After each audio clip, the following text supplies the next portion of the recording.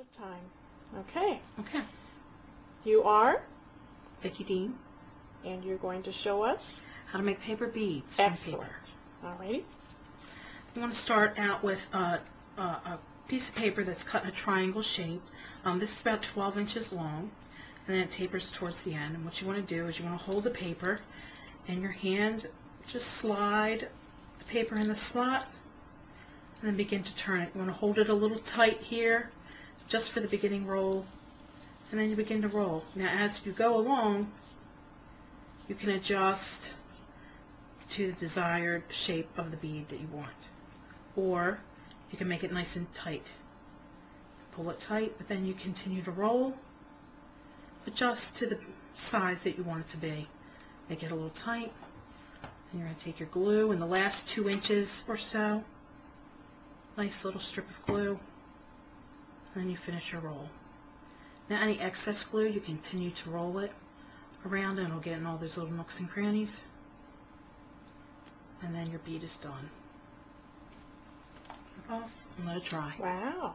Can you do us another one? Sure. Again, you want to have your pattern down away from you. Slide your paper in the slot.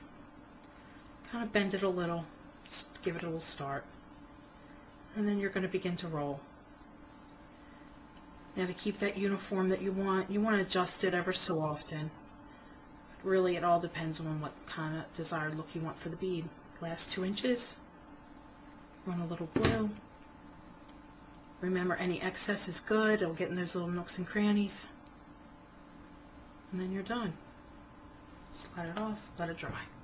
Okay, can you do one and show in slow motion kind of what you mean when you say hold it tight, you Sure. know, or make it loose? Sure. What you want to do is, again, take your paper, slide it in. You want to bend it just so it catches. And then you just kind of hold your finger on there to give it a little pressure. But it's basically just to keep the paper under control. Now you can see that the paper uh, is going a little off to the sides. You want to bring it back in.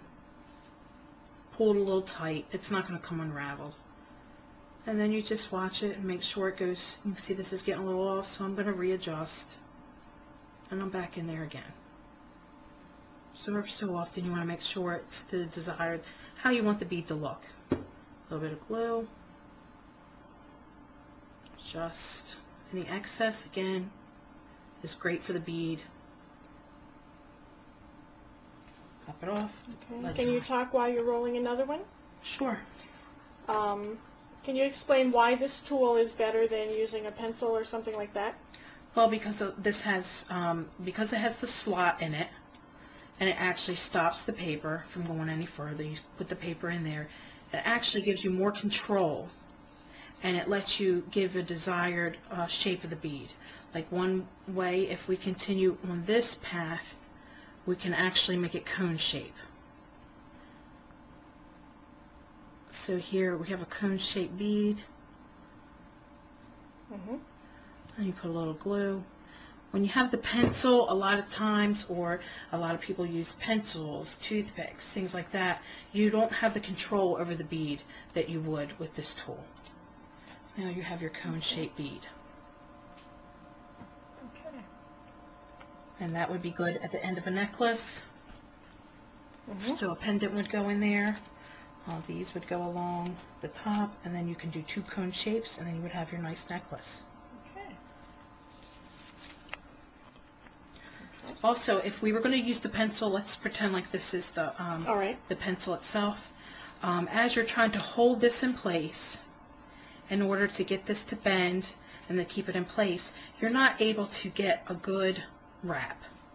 You can see how this comes apart, Right. and if you try to get that in place, it's really, you're struggling with the bead. You don't want the bead to struggle.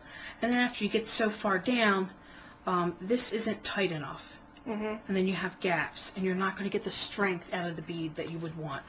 So again, And here a nice just- clean finish. nice clean finish for sure. So here we straighten this back out. You slide this back into your little slot.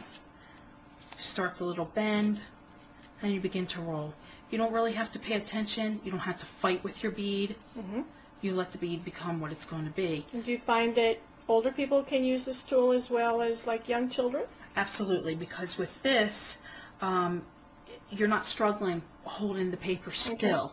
Where this way, you're just more guiding the tool itself. It Doesn't require so much coordination. No, absolutely not. And we have um, some disabled children that are working with this because they're able to maneuver it better than holding the paper taut to a pencil. Mm-hmm. Just doesn't work as well.